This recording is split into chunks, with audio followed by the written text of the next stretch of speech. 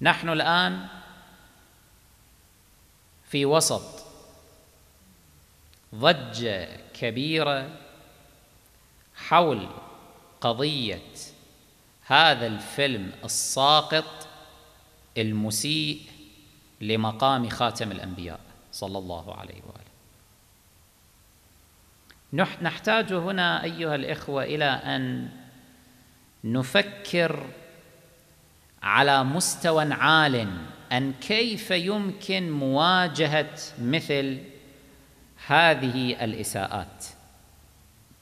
أول سؤال يتبادر إلى الذهن. في خصوص هذه القضية المشتعلة الآن. أول سؤال يتبادر. أنه لماذا وقع ما وقع؟ لماذا مجموعة من المعتوهين الأنجاس من النصارى قاموا بإنتاج هذا الفيلم متعمدين لمثل هذه الإساءة ولمثل هذا الاستفزاز المقرف. ما هو السبب؟ السبب أيها الإخوة سببان رئيسيان. السبب الأول تمدد الإسلام في البلاد الغربية.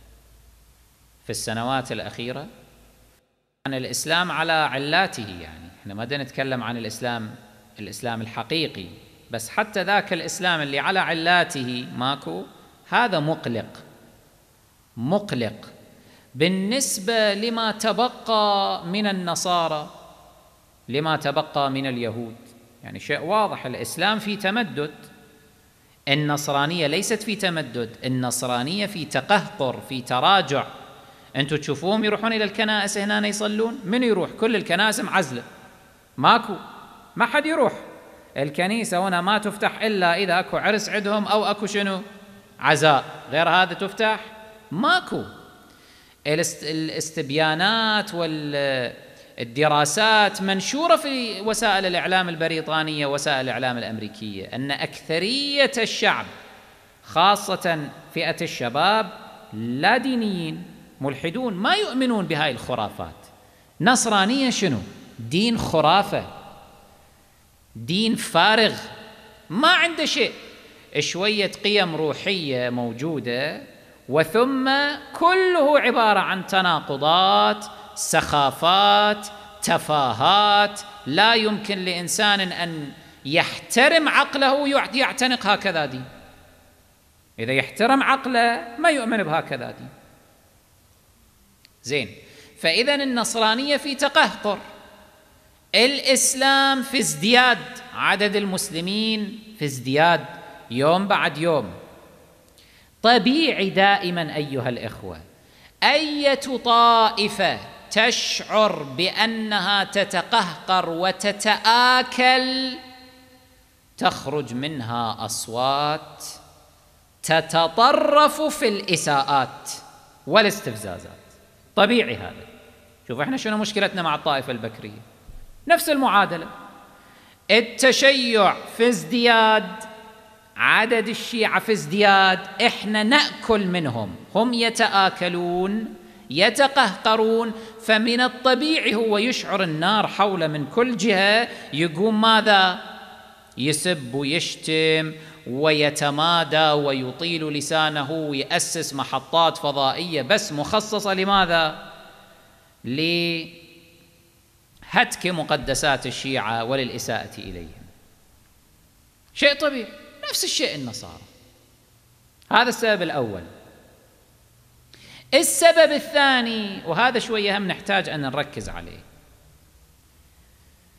السبب الثاني هو في واقع الحال يتشعب إلى شعبتين.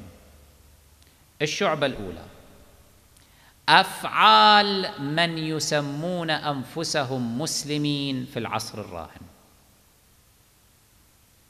هذه الأفعال كونت في قلوب الشعوب الغربية حقدا متراكما كاد أن يصبح كالجبال الآن في قلوبهم. هاي الأفعال. أنت تقوم تفجر تقتل.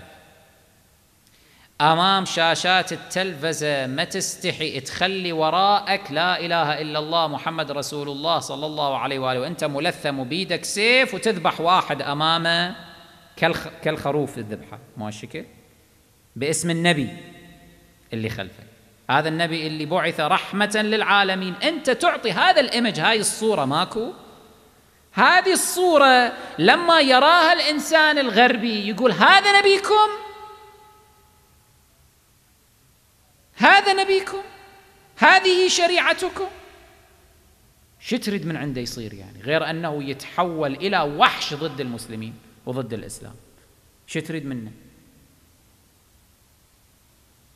هذه الأفعال التي وقعت من تنظيم القاعدة. من بعض الحركات هنا وهناك الأحزاب التي هنا وهناك البكرية الإرهابية التي شوهت سمعة الإسلام وسمعة رسول الله صلى الله عليه وآله. هذه مجرمة في حق الإسلام وفي حق رسول الله صلى الله عليه وآله لأنها نفرت الناس عن الإسلام.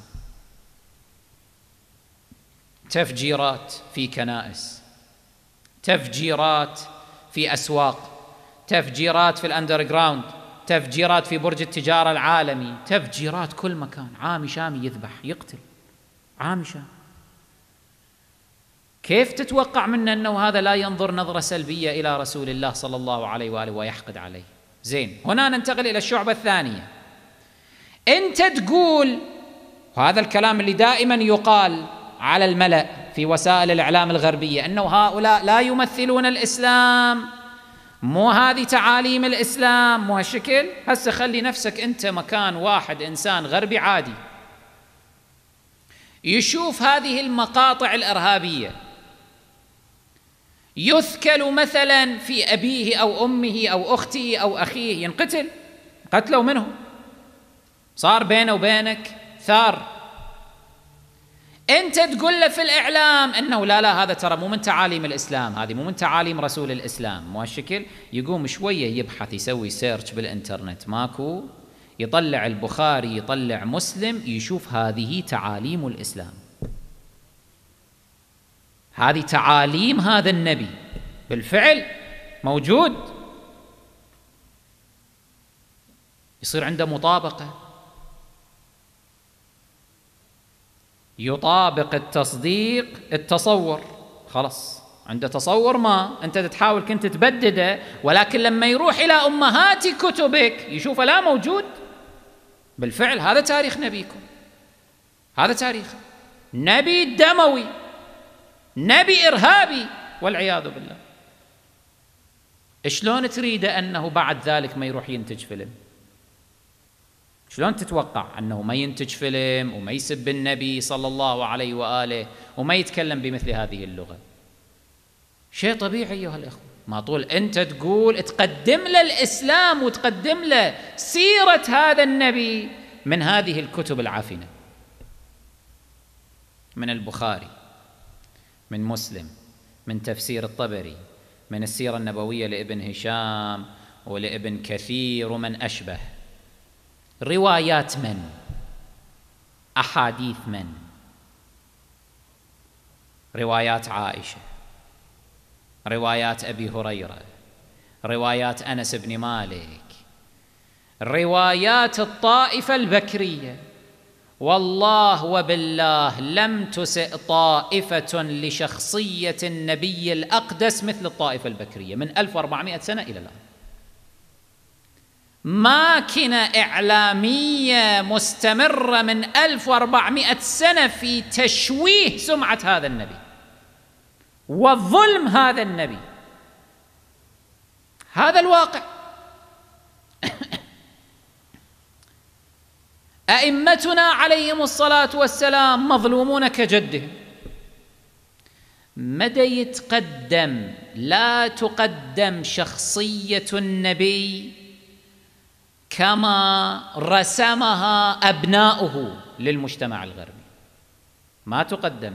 أحد يطرح شخصية النبي الآن بناء على الصفات التي ذكرها أهل البيت الطاهرون عليهم الصلاة والسلام؟ كلا. روايات أهل البيت التي تتحدث عن السيرة النبوية البراقة المشرقة. أين هي؟ في الإعلام. وين؟ ما موجوده حتى على منابرنا ترى ما موجوده حتى على منابرنا. عندنا جاهلية مقنعة. على منابرنا خطبانا ما يعرفون السيرة الحقيقية لرسول الله. صدق. ظاهرة موجودة. ليش؟ لأنه ماكو اطلاع على روايات أهل البيت عليهم السلام جيدة. ولا تحقيق ولا سهر ليالي في هذا الجانب. فيقوم ياخذ السيرة النبوية من من؟ من ابن كثير ياخذ السيرة النبوية. من الطبري ياخذ السيرة النبوية. أما يأخذها من الأئمة الأطهار عليهم الصلاة والسلام؟ لا. إذا في وسط الشيعة اللي هم أتباع أهل البيت عليهم السلام ما يعرفون سيرة النبي الحقيقية وينزهونه فيها عن الأكاذيب والافتراءات والموضوعات والمختلقات. فشلون تتوقع من البكري يعرف السيرة الحقيقية؟ ثم كيف تتوقع من اليهودي والنصراني يعرف السيرة الحقيقية؟ وهو أبعد وأبعد.